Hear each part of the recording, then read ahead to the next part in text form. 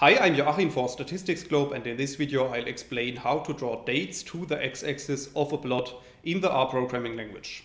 So in the video I'm going to show you two examples and both of these examples are based on the data frame that we can create with lines 2 to 5 of the code. So if you run these lines of code you can see that at the top right of RStudio a new data frame object appears which is called data and we can click on this data object to show the structure of our data.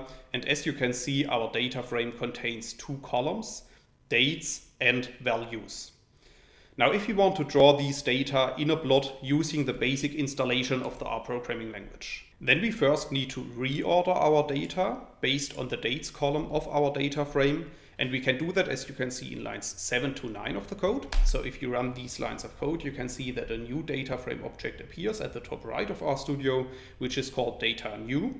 And if you click on this data object, you can see that our new data frame consists of the same values as the input data frame, but this time the dates column is ordered based on the dates. In the next step, we can use the plot function, as you can see in lines 11 to 14 of the code. So within the plot function, I'm specifying the dates of our data frame. Then I'm specifying the corresponding values. And then I'm also specifying that I don't want to show any x-axis values at this point. So if you run lines 11 to 14 of the code, you can see that a new plot is created.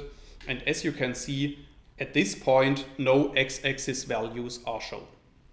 So in the next step, I'm using the axis function, as you can see in lines 15 to 17 of the code. And within the axis function, I'm specifying the value 1, which is telling the axis function that we want to draw an x-axis. Then I'm specifying the dates of our data frame. And then I'm also specifying the format in which I want to show our dates on the x-axis. So if you run lines 15 to 17 of the code, you can see that our plot is updated and now the x-axis is showing the dates of our data frame. So in the first example of this video, I have explained how to use the basic installation of the R programming language to add dates on the x-axis of a plot. However, it is also possible to use the ggplot2 package to add dates on an x-axis and this is what I want to show you in the second example of this tutorial.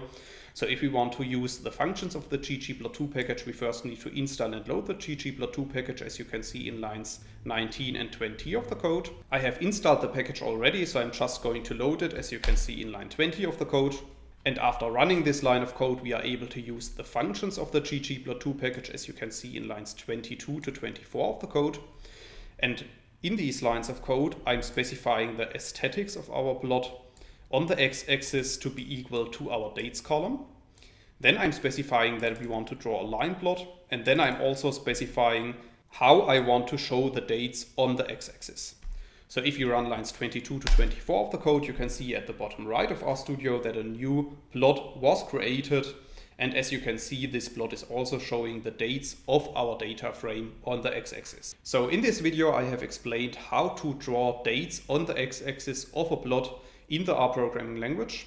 However, in case you want to learn more on this topic, you could check out my homepage, statisticsglobe.com, because on the homepage I have recently published a tutorial in which I'm explaining the R programming code of this video in some more detail, and I will put a link to this tutorial into the description of the video.